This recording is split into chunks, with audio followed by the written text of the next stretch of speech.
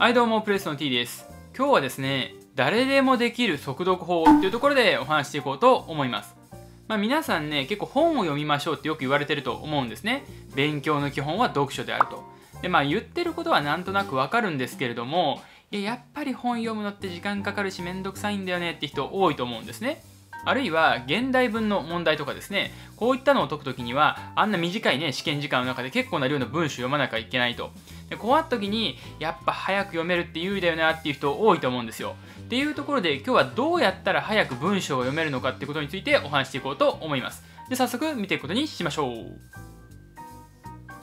じゃあまず間違った速読法っていうものについて話をしておきたいんですけれども皆さんねフォトリーディングとかって聞いたことありますか？でまあこれは実際にはできる人もいるみたいなので完全に嘘っぱちっていうわけではないと思うんですけれども少なくとも僕にはできないんですね。どういうふうにやるかっていうと、まあ、本をね読む時になんか写真を撮るように見ていきましょうと。でどんどんどんどん写真をパシャパシャパシャパシャ撮るようにやっていくので大体ね1ページあたり1秒とかで読めますよみたいな手法があったりするわけですよ。でこれ確かにできるんだったらめちゃめちゃ効率よく本読めそうだなって思うんですけれどもまあできないと思いますよ。普通の人にはね。そういった能力とかめちゃめちゃトレーニングを積んだ人っていうのはできるかもしれませんけれどもまあそこまでやろうとは思わないですね僕は。で、まあ、皆さんもそういった努力をするぐらいだったら、まあ、もう少しね基本的な速読っていうのをやっていった方がまあいいんじゃないかっていうふうに思うわけですね。じゃあ具体的な方法を説明する前にですねまずそもそも読書って何だっけってところを考えてみたいんですね。読書っていうのはですね書いてある書物を読むことですけれども単純に読んだだけじゃ意味がないわけですよ。内容とかをしっかり頭に入れたいわけですね。でここを大前提に考えるんであれば最初から速読っていうのを意識するのは僕は良くないと思うんですね。まずは書いてあることをきちんと読む。なんかね速読法っていうのを読んでみた時にどんどん飛ばし読みをしましょうみたいなことを書いてあるケースがあったりするんですけれどもここでねあの基本的なところが抜けている人ってのはどうなっていくかっていうと重要なところも全部飛ばしちゃうんですよね。でそれって何の意味もないですよね。だからこそまずはとにかく全部読むっていうのを徹底してやってほしいんですよ。でこの全部読むっていうのは一番根っこの部分っていうのは小学校の頃にやってた音読ってありますよね。はいじゃあ誰々さん立って何ページを読んでくださいみたいなありましたよね。あれをねやってみるっていうのはかなり効果があるんですね。とにかくきちっと声に出しておけば飛ばすって絶対ありえないじゃないですか。で大人にもなってですねなかなか音読って難しいよちょっと恥ずかしいよっていう人はとにかく指を使いましょう。指を使って必ず本に書いてある内容文章を全部こうなぞっていくんですね。でこういう風にするとですね確実に全部読めるっていうのもありますし戻り読みとかっていうのをしなくていいんですね。でここで一つポイントがあるんですけれどもそれは帰り読みをしないってことですね。仮読みってどういうことかっていうとですね1回読んだところをもう1回読んじゃうとかっていうことをですね。でこれねほんと慣れてない人は無意識のうちに多分やってると思うんですけれども同じところずっと読んじゃってて一向に前に進まないってことがあったりするんですよ。でこれってなんかハッと気づいたらあなんか全然進んなかったって分かるんですけれどもそこまではなぜか気づかないんですね。だからちゃんと指を使って、まあ、明確に追っかけていけば絶対そういうことって起きませんよね。だからやっぱりね指を使って読むっていうのは結構大事になってくると思います。でねこの帰り読みっていうものについてもう少し詳しく話をしておきたいんですけれどもやっぱりね中にはいや内容が分かんない全部覚えてるっていうのが無理だから帰り読みするんだっていう人いるんですけれどもそもそもそれって僕間違ってると思うんですよ。1回で全部の内容を完璧に理解するっていうのはほぼ不可能だと僕は思うんですね。だからこそとりあえず先に進むと。そうすると後半にですねもう少し詳しい解説があったりとか分かりやすいようなところ書いてあったりする場合ってあるんですよ。だからとりあえず1回目は気にせず先に進むっていうのが結構大事になってくるというふうに思うわけですね。でこういったことに関してですね僕は読みと思考の分離ってかなり大事だと思うんですね。皆さん基本的に本を読む時ってどういう風に読んでるかっていうと一回文章を読んでその書いてあることをリアルタイムでどういうことなんだろうって考えながら読んでると思うんですね。でこれってね僕あまり良くないと思うんですよ。それはどういうことかっていうと一文一文にですね自分なりの解釈を加えながら読んでいくとどんどんどんどん書いてある内容っていうのが歪曲する可能性があるんですね。ま、もちろんねそういった思考パターンに慣れてる人っていうのはうまくいくと思うんですけれども初めて本を読もうみたいな感じの人あまり読書に慣れてない人っていうのがそれをやると自分の意見っていうのをどんどんどんどん押し付けてしまってわけわかんない方向にどんどんどんどん進むんですよ。だからなんか自分の考え方と合わないから理解できない。え何言ってるんですかこの人みたいなことを言うふうな人がいるんですね。これ特に入試現代文とかでは本当に致命傷になるんですよ。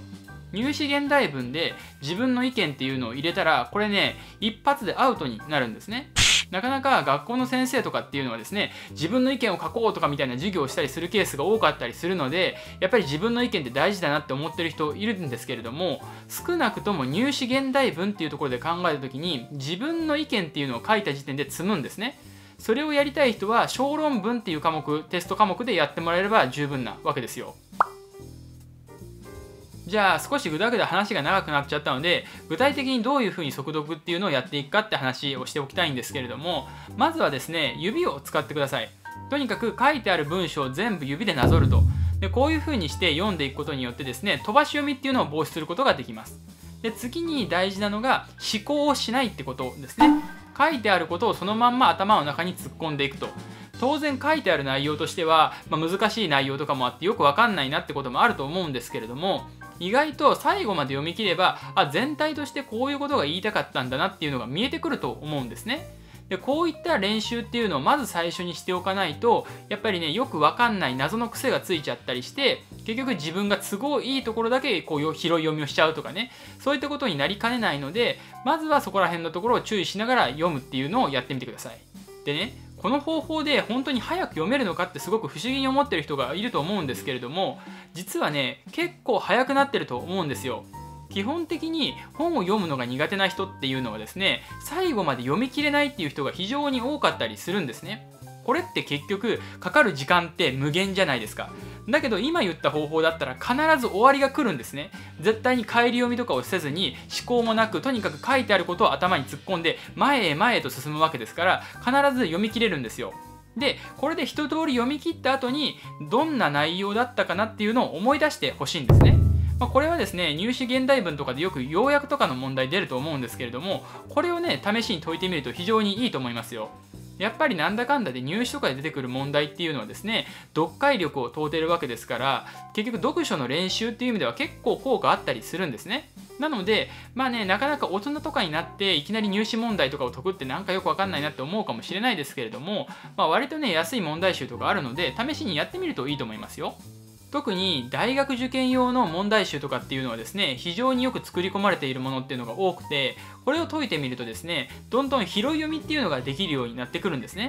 っていうのもその問題を解くうちにですねあここってやっぱ重要だよねっていうところを説問にしてるっていうのが分かると思うんですよ。そうなってくればあじゃあこの部分ってやっぱいらないよね。ただ単純に具体例みたいな述べてるだけだからいらないよねとかっていうのが見えてくるわけですね。まあ、もちろんテクニック的な方法っていうのもあるんですよ。つまりとか書いてあるところが重要とかってねそういうのをまあ教えてもらったりすることあるとは思うんですけれどもこれをですねやっぱ実践の中で身につけてほしいわけですよ。なんでつまりって書いてあったら重要なのか理屈とかも説明は書いてあると思うんですけれどもこれねやっぱ自分でちゃんと実感してもらわないとなかなか伝わりにくい部分っていうのもあるしこれでね知識として覚えたものってどんどんどんどん忘れるんですよね。でそれを意識しながら読書するって大変じゃないですか。だからこそ、まあ、実践の中でそういった読み方っていうのをちゃんと自分のものにしていってでそれをさらに今度読書とかで活かすと。でそれをどんどんどんどんスパイラルしていくとですね入試問題っていうのも非常に解きやすくなってくるっていうのがあるので、まあ、やっぱりね基本に立ち返ってしっかりとやってみてくださいとそういう話ですね。はい。というところでいろいろと話をしてきたわけですけれども、やっぱりね、速読っていうのも基本が大事だと。怪しい方法、もう本当にね、1冊あたりね、10分、5分で読めますみたいな方法とかもいろいろあるわけですけれども、それはあくまでスキルがある人が最終的に行き着く境地だというところで、まあ、思っておいてほしいんですね。いきなり本が読めない人っていうのがですね、そんな方法をやっても早く読めるようにはならないわけですよ。まあ、読めたとしても、それは読めたつもりになっているだけ。でね、この部分って結構根が深いんですけれども、現代文とかって、これなんでできないかって言った時に、これ才能だと思ってる人結構多いんですよね。で、この才能っていう部分で、まあ、逃げていた時にですね、もう現代文やらないとかっていう方向に行っちゃうんですけれども、基本的なところをしっかりとですねマスターして正しく読むっていうのをマスターすれば誰でも現代文って点が取れるようになってるんですね